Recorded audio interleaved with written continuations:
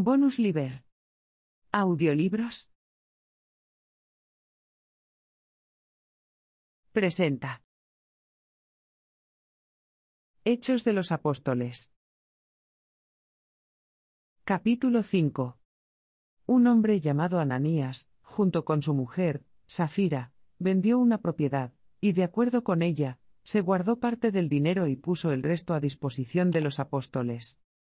Pedro le dijo, Ananías, ¿por qué dejaste que Satanás se apoderara de ti hasta el punto de engañar al Espíritu Santo, guardándote una parte del dinero del campo? ¿Acaso no eras dueño de quedarte con él? ¿Y después de venderlo, no podías guardarte el dinero? ¿Cómo se te ocurrió hacer esto?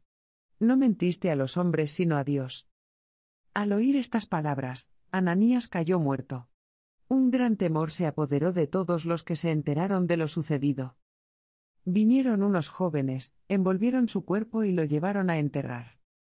Unas tres horas más tarde, llegó su mujer, completamente ajena a lo ocurrido. Pedro le preguntó, ¿Es verdad que han vendido el campo en tal suma? Ella respondió, Sí, en esa suma. Pedro le dijo, ¿por qué se han puesto de acuerdo para tentar así al Espíritu del Señor? Mira junto a la puerta las pisadas de los que acaban de enterrar a tu marido, ellos también te van a llevar a ti.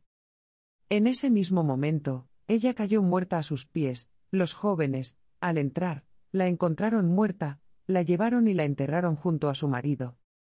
Un gran temor se apoderó entonces de toda la iglesia, y de todos los que oyeron contar estas cosas. Los apóstoles hacían muchos signos y prodigios en el pueblo.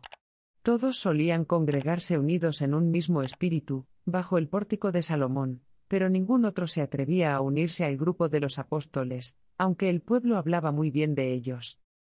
Aumentaba cada vez más el número de los que creían en el Señor, tanto hombres como mujeres. Y hasta sacaban a los enfermos a las calles, poniéndolos en catres y camillas, para que cuando Pedro pasara, por lo menos su sombra cubriera a alguno de ellos.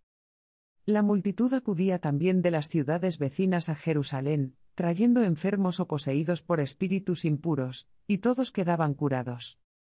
Intervino entonces el sumo sacerdote con todos sus partidarios, los de la secta de los saduceos. Llenos de envidia, hicieron arrestar a los apóstoles y los enviaron a la prisión pública. Pero durante la noche, el ángel del Señor abrió las puertas de la prisión y los hizo salir. Luego les dijo, Vayan al templo y anuncien al pueblo todo lo que se refiere a esta nueva vida.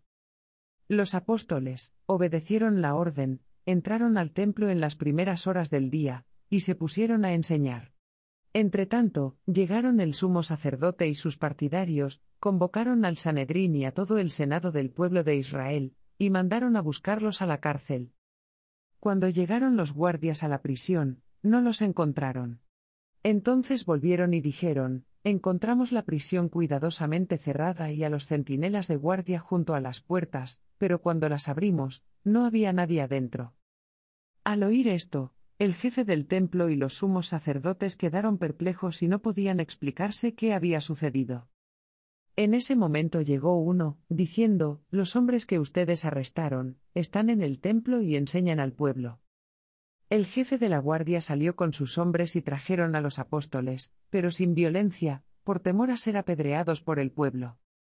Los hicieron comparecer ante el Sanedrín, y el sumo sacerdote les dijo, Nosotros les habíamos prohibido expresamente predicar en ese nombre, y ustedes han llenado Jerusalén con su doctrina. Así quieren hacer recaer sobre nosotros la sangre de ese hombre. Pedro, junto con los apóstoles, respondió, hay que obedecer a Dios antes que a los hombres. El Dios de nuestros padres ha resucitado a Jesús, al que ustedes hicieron morir suspendiéndolo del patíbulo. A él, Dios lo exaltó con su poder, haciéndolo jefe y salvador, a fin de conceder a Israel la conversión y el perdón de los pecados. Nosotros somos testigos de estas cosas, nosotros y el Espíritu Santo que Dios ha enviado a los que le obedecen. Al oír estas palabras, ellos se enfurecieron y querían matarlos. Pero un fariseo, llamado Gamaliel, que era doctor de la ley, respetado por todo el pueblo, se levantó en medio del Sanedrín. Después de hacer salir por un momento a los apóstoles, dijo a los del Sanedrín, Israelitas, cuídense bien de lo que van a hacer con esos hombres. Hace poco apareció Teudas, que pretendía ser un personaje, y lo siguieron unos 400 hombres, sin embargo, lo mataron, sus partidarios se dispersaron, y ya no queda nada. Después de él, en la época del censo, apareció Judas de Galilea, que también arrastró mucha gente, igualmente murió, y todos sus partidarios se dispersaron. Por eso, ahora les digo, no se metan con esos hombres y déjenlos en paz, porque si lo que ellos intentan hacer viene de los hombres, se destruirá por sí mismo, pero si verdaderamente viene de Dios, ustedes no podrán destruirlos y correrán el riesgo de embarcarse en una lucha contra Dios. Los del Sanedrín siguieron su consejo, llamaron a los apóstoles, y después de hacerlos azotar, les prohibieron hablar en el nombre de Jesús y los soltaron. Los apóstoles, por su parte, salieron del Sanedrín, dichosos de haber sido considerados dignos de padecer por el nombre de Jesús. Y todos los días, tanto en el templo como en las casas, no cesaban de enseñar y de anunciar la buena noticia de Cristo Jesús.